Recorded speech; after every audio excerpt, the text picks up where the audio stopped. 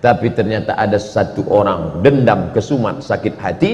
Ditikamnya lah Sayyidina Umar pada tanggal 24 Zulhijjah hari Rabu saat rakaat pertama solat. Ditikamnya pada tanggal 24 25 26 27 setelah itu tanda tanggal 30 meninggallah Sayyidina Umar Ibn Khattab pada tahun 23 Hijrah umurnya pas 63 tahun. Nabi Muhammad meninggal 63 Abu Bakar meninggal 63 Umar bin Khattab meninggal 63 saya sudah hitung-hitung insya Allah meninggal tahun 2040 waktu itu umur saya 63 sok mantap katanya. Kalau berlebih bonus kalau mati besok Alhamdulillah. Orang Islam tak pernah berduka cita. Allahumma ja'alil ayata ziyadatan lana fi kulli khair. Kalau aku hidup besok pagi pahala aku bertambah. Masuk ke UIN mengajar pahala bertambah. Kalau mati aku malam ini Alhamdulillah. Besok dosa tak ada. Tak lagi mata ni menengok celana pendek. Nah oleh sebab itu maka Umar bin Khattab pun ditikam meninggal dunialah dia pada tahun 23 Hijrah. Lalu kemudian dia dimandikan oleh anak kandungnya Abdullah bin Umar bin Khattab. Maka kita ni kalau memandikan kita tu nanti anak kandung kita yang laki-laki. Saya Alhamdulillah ada anak laki-laki saya dialah nanti yang akan memandikan saya InsyaAllah. Maka Bapak Ibu sekalian Buatlah di Masjid Raya ini Pelatihan memandikan jenazah. Yang ikut pelatihan itu Anak-anak muda. Ini banyak dibuat pelatihan Yang ikut orang tua-tua. Bapak kenapa ikut? Yang mau dimandikan ini Bapak. Tak usah ikut. Anak-anak muda itu dilatih. Biar nanti waktu awak mati Dia mandikan kita kalau dia mandikan kita, takkan dia ambilnya gayung tinggi-tinggi. Di situ jenazah ayah sudah mau. Dan tu pelan-pelan dia. Kan ini ayahku dulu. Tapi kalau orang lain memandikan kita, apalagi kita waktu dulu hidup sombong minta ampun. Hmm.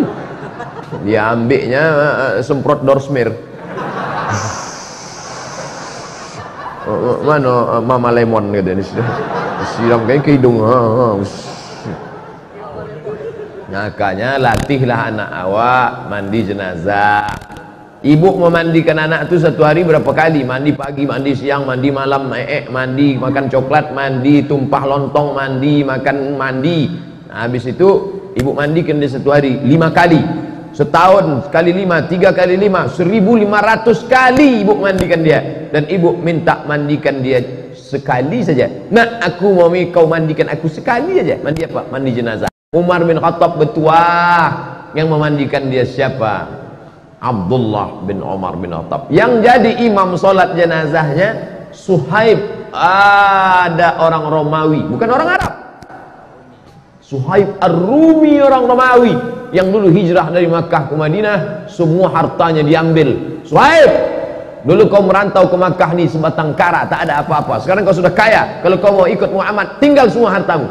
Suhaib Ar-Rumi apa maknanya? Jangan kita pesankan nanti ambo kalau mati dan menyembayangkan ambo mesti orang payakumbuh aku kalau mati nanti maka yang menyembayangkan aku orang dari Mandailing Natal saja. Aden kok isuk kalau mati makonan menyembayangkan ambo orang dari Yogyakarta. Ambo kok sebenarnya orang awak tapi dadik lah mau di Jogja.